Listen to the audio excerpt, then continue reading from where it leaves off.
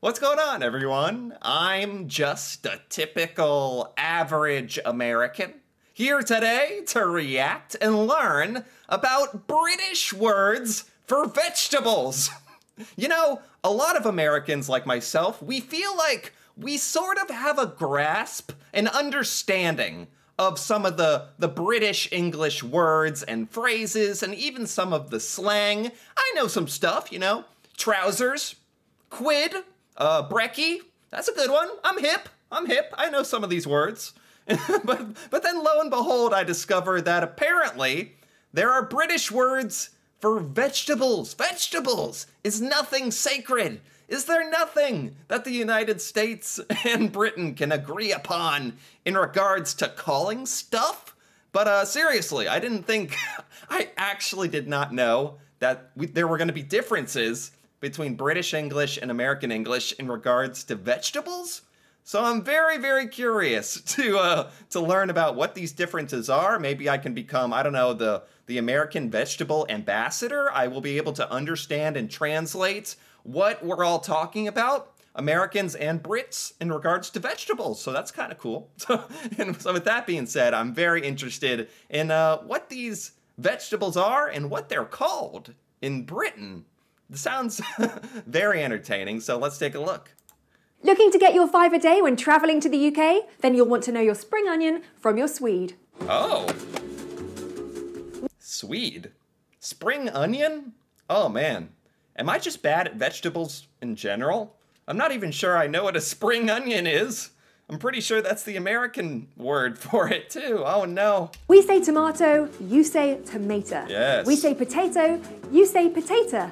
You say cilantro, we say coriander. Yep, there's often more than a difference in pronunciation when it comes to what we call our veggies here in the Yeah, it's not even just a difference in pronunciation.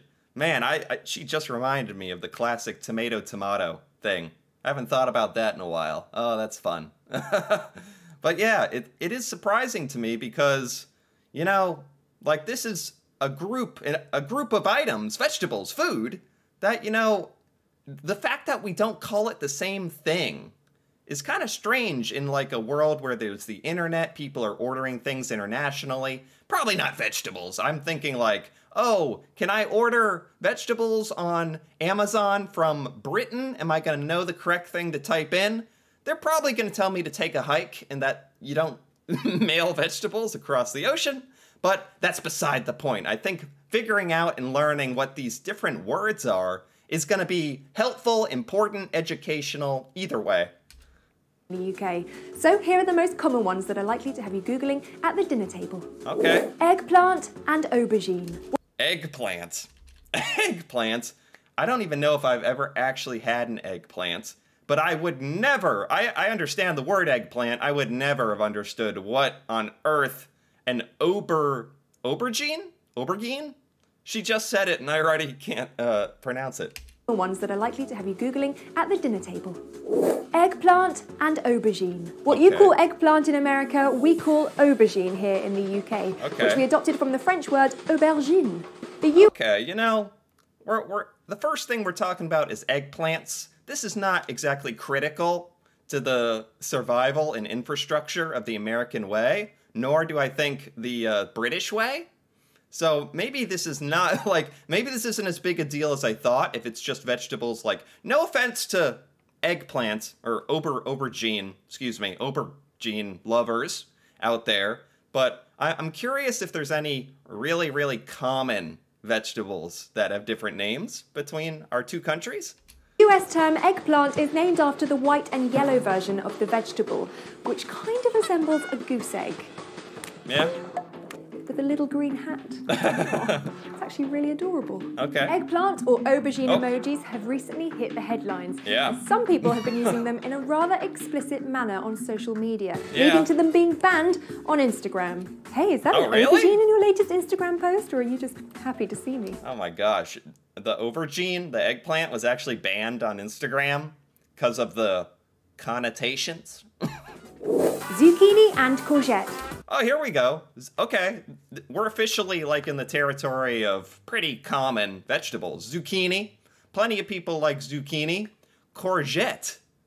Sounds like a like a, a model of a car or something. Oh, just drove my courgette in from the, got it from the shop. It's going, it's great, going fast.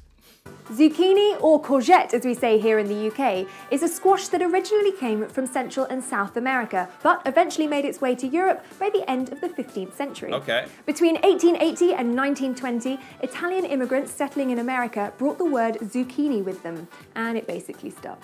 Okay, I was wondering because I've never really contemplated the meaning or origin of the word zucchini. It's kind of a funny word, if we're being honest. It's a little unique. So it's it's Italian in origin. That's interesting. Where does courgette come from? Italian immigrants settling in America brought the word zucchini with them, and it basically stuck. Yeah. Courgette is actually a far more recent word and only entered the Oxford English Dictionary in 1931. Ah. Again, it's taken from the French word courgette.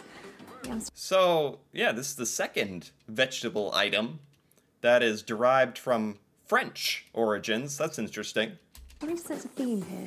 If you know the Katy Perry song California Girls, Snoop Dogg uses zucchinis to rhyme with bikinis, martinis, Yes. and weenies. Yes. I wonder if courgette would have worked as well. courgette, an outfit in which you get wet. Oh, Oh yeah, I give wow. Oh wow. Arugula. Arugula and rocket. Rocket. There's a vegetable in Britain referred to as a rocket. But rocket is a thing. It's like a spaceship that goes into space. I assume that is the same in Britain as well. I really shouldn't assume anything at this point. Arugula, that's like a vegetable? Is that like a leafy vegetable, I think? I'm revealing, you know, exactly how healthy my diet is today, huh? Arugula and rocket. Rocket sounds like it was given this awesome sounding name to encourage vegetable averse kids to eat their greens. Yeah. We are ready to launch Green Rocket into space. Yeah. Target location, the black hole. Seriously. In three, two, one, blast off. Sadly, this isn't how it got such a cool name. Long before the word I know, for uh for like the vegetable we're talking about, like the coolness of the name does not really correspond to the food item. Not to knock on the rocket arugula lovers out there once again, all you eggplant lovers and arugula lovers. I don't I just got to say, for such cool names, I don't know if it matches the food. rocket was even used for cone shaped flying objects and fireworks, us Brits simply borrowed the French word roquette and decided somewhere along the way that the QU in the middle was, well, a little too French and made it less fancy by replacing it with CK instead. Okay. In America, Italian immigrants brought the term rugula with them, where it eventually evolved into arugula. This is another vegetable in America that is derived from Italian origins. I'm learning about like the origins of American stuff today as well. Who knew? To us Brits, this kind of sounds like you've got something stuck in the back of your throat. Oh, Arugula? Arugula. oh yeah. Rutabaga sounds like such a fun Rutabaga. Rutabaga. That is a really fun word. Uh, I actually am not. I'm, maybe if I see a picture of it, I'll know what a rutabaga is. That's just, for the most part, the purpose of rutabagas in America is to be a funny word that no one really knows what it is. But apparently in Britain, it is called a, a Swede. Wait, a Swede? That's a thing. That's a person from Sweden. A Swede. but it's also a vegetable. Rutabaga sounds like such a fun and quirky word to us Brits. A cross between a cabbage and a turnip, this type of squash was found to be growing wild in Sweden. We Okay. originally called it Swedish turnip, but this has since been shortened to Swede here in the UK. Oh, it really is a Swede. So if you're talking about Swedes in Britain, you're either talking about a culture of people from Sweden or a turnip, a vegetable. Who knows? But rutabaga also has Swedish roots, and it comes from the Oh. Swedish term rotabagge, meaning root ram. oh, okay.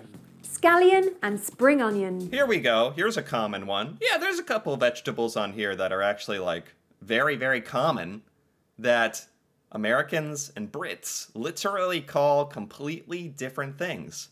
Which I, again, I'm genuinely surprised about this. Like, the. I I'm so like I don't even know how to explain it. It's like equivalent to when I learned about pants and trousers and shirts and jumpers and like all that stuff, like such common stuff, clothing items that Americans and British people call different stuff. Like, I'm almost as shocked that there's so many food items we call different things. These might look the same on the face of it, but apparently there is actually a difference between scallions and spring onions. Oh. And it's all oh. to do with the bulb. Scallions are straight and never grow a bulb at the end, whereas okay. spring onions do. Okay. In the UK, we generally use the term spring onions to include scallions and green onions. In Northern Ireland, however, they prefer the word scallion. And now that okay. I think about it, I like the word scallion too. It sort of sounds like something a pirate might say. Avast ye scallion! wow. Cilantro and coriander. Coriander. I've heard this word before, but again, this is a lot of vegetables that I personally do not partake in, but I am very familiar with cilantro. That's pretty common in cooking. Uh, coriander, I've heard that word. I never knew it meant the same thing though. This is another example of the Brits being lazy and adopting a French word, in this case, coriandre, as okay. their own. The Americans. Is a lot of, like, British terminology derived from French words? because literally at least half of the vegetables here, uh, with the British terms, have come from French words, which is very interesting. I didn't know anything about that kind of origin of the, the words and, or, or any of that. Being equally lazy, adopted the Spanish word cilantro. In but at the same time, all the American stuff is derived from Italian words and Spanish words, so there you go.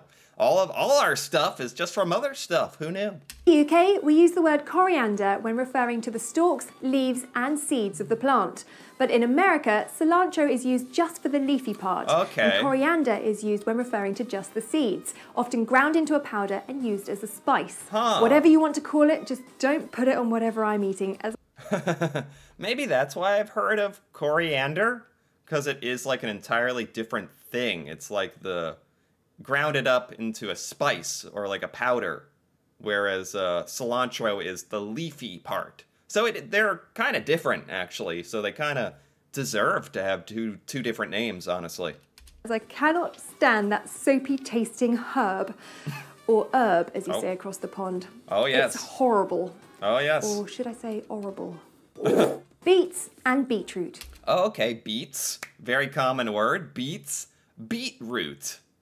I mean, this is this is one of the this is one of the pairings I can most wrap my head around. I guess beetroot. It is it's like a root, right? And you even have beet in the name. I can live with this. I can live with this. Beetroot comes from the Latin name Beta vulgaris, but is known in the US simply as beets. Right. Because well, Americans are generally super busy, and that second syllable gobbles up a lot of time. Okay. Which British fruit, veggie, or herb names have baffled you in the past? Tell us in the comments or tweet us at Anglophenia. Just don't use the eggplant emoji, no matter oh. how excited you are. Eggplant emoji, or should I say aubergine? I still can't even pronounce that very well. well, there you have it. Uh, British words for vegetables. Never knew, never in all my days would I have thought that we call vegetables different stuff. Now, it's basically like my mind has been open to the possibilities. I, there's pretty much nothing off limits if we're calling vegetables different names and stuff, huh? Uh, this video was by Anglophenia. It was very, very good, very funny, and very informative, very educational. I might actually know what people are talking about now if I hear some of these words. Funny enough, I had heard some of these British terms before and had no idea what they meant. So that's kind of nice to have learned about this, educating myself a bit. But I'm also a bit uh, shocked that some of these vegetables are fairly common. Like like pretty popular. It's I thought it was just going to be obscure vegetables. Like okay, vegetables no one cares about. Uh, we call them different names, whatever. It doesn't really affect anything. But these are like a bunch of these are like pretty popular common vegetables that we literally call different things, which uh, honestly kind of makes this world a little bit better, in my opinion. A little bit tougher to communicate, maybe, but that's kind of the the fun of life, the fun of our different cultures. That we do call things different stuff. We call things different stuff and different things, and that's kind of the beauty of it. So for that reason, I, I really enjoyed this. Anyway, if you enjoyed this as well, feel free to give this video a like or leave a comment. And if you're interested in more videos like this, me reacting to British culture, stuff about Britain in Britain that I have never learned before, feel free to subscribe for more. And until then, thanks for watching and see you next time.